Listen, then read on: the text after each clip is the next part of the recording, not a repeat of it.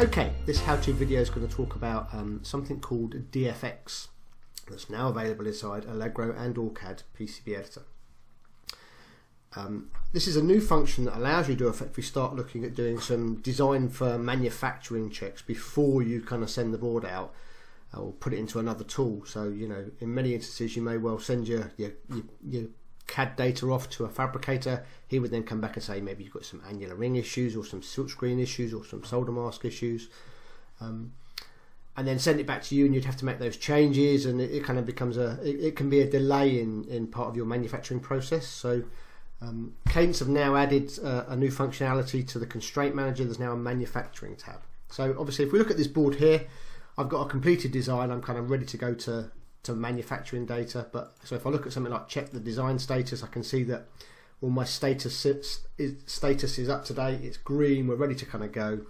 Um, so what we can do is we can start to look at this new manufacturing checks. So if we launch Constraint Manager, we now have a manufacturing tab that basically allows you to set effectively a, a constraint set for outline checks. So cut out an outline two different objects um, for the solder mask, for an annular ring, for some copper spacing, so you can just clarify your copper spacings, and then some silkscreen checks.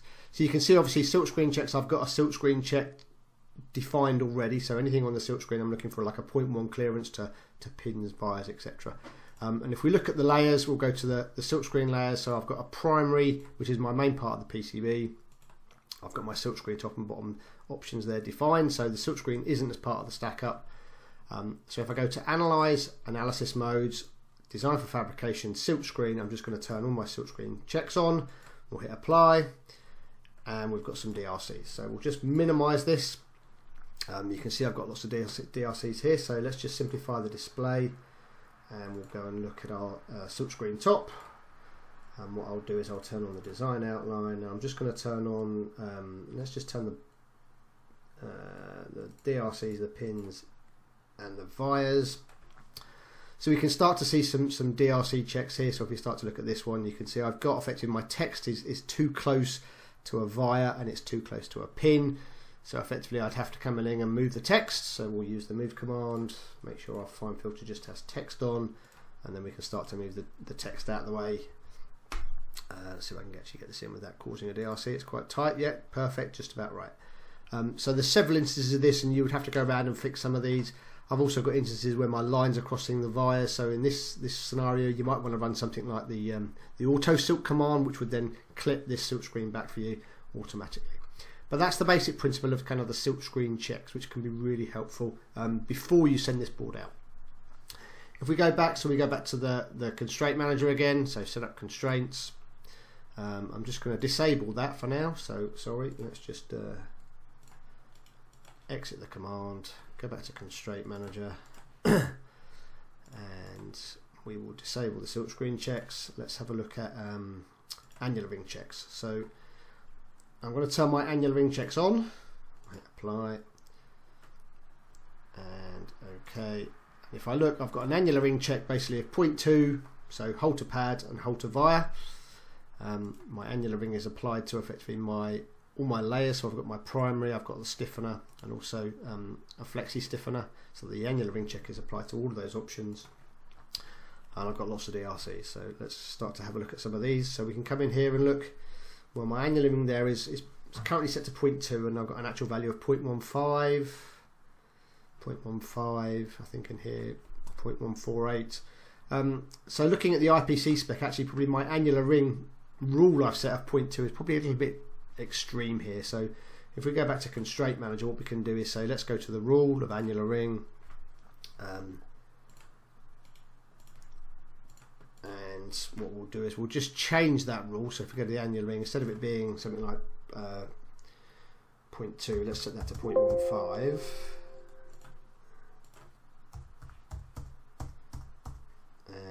set this one to 0.14 because obviously the var is slightly smaller. Where um, the actual IPC spec is 0.1, but um, we can be a little bit more generous here. And then if we just run an update DRC, we have uh, all the DRC errors have gone. Apart from obviously when I look at things like um, my mechanical hole, so you can see I've actually got a, a hole that is bigger than the pad. So in this type of scenario, we can just kind of ignore these. Or in here, I can potentially change the annular ring value to maybe 0.1 for the pins, hole to pin, because I've got a smaller value here, but the solder will flow around because I've got a, an oblong base pad.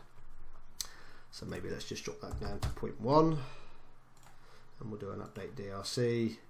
So that then just leaves us the mechanical pins in the design. So I'm not too worried about those. So we can then go to the constraint manager and we can either um, ignore those DRCs or we can waive those DRCs or in this scenario I'm literally just going to turn the DRC mode off. So that's the annular ring checks. Uh, let's go and look at solder mask. So um, what we'll do is we will look at solder mask. So I actually need to go and create a, a, rule. So let's show you how to create a rule. So I can click on create new. Um, let's just call this mask.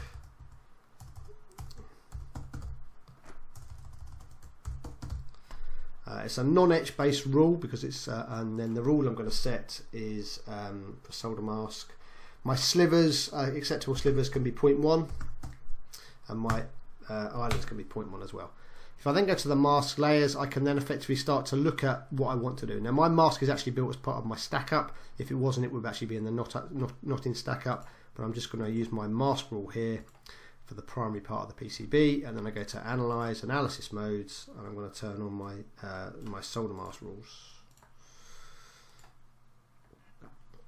okay so if we go to the visibility pane let's actually look at our solder mask layers so solder mask top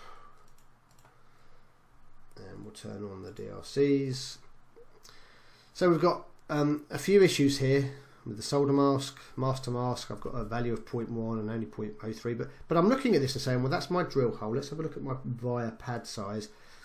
Maybe I've got an issue with my via creation here. So what I can do is I can actually go Tools, Pad Stack, Modify Design, Pad Stack, click on this and edit. Um, so I've got a 0.6 diameter and a 1.18. Okay, that's a bit large. So maybe if I take this down to make something like point, uh, let's go to point, 0.8 and then we'll just copy and paste that and then if we do a file update to design and exit and let's just do an update DRCs so we've got a couple of instances um, where I'd potentially have to start sliding vias apart to resolve this mask or I can make the mask the same size as the via I mean, it kind of depends I've also got a couple of issues here or maybe I've left some copper here um, so it will also work on the solder mask shapes. In this scenario, these are left from a previous revision, so we can actually just get rid of these shapes. Don't need those anymore. But sliding the vias apart, separating the vias, um, would resolve a lot of these issues, um, and that's kind of you just have to work your way through uh, the mask checks. But doing it here rather than doing it in a DFX tool can save you a lot of time. There is also something called the Tools DRC browser that allows me to kind of seal my design. So you can see here I've got some design for fabrication checks. I've got solder mask. So I can look at islands. I can look at slivers. Um, you actually see all the values and you can sort all the values that you want. You can waive all these in one go if you're happy with them. So there's lots and lots of options here. There's also a DRC chart which would show me the chart for the actual values or the relational values so I can work my way around looking at the DRCs and obviously this is a live link so I can double click here and it would take me to where the DRC is on the screen. So some useful options for, for manufacturing and for finding and, and working your way through the DRCs on the board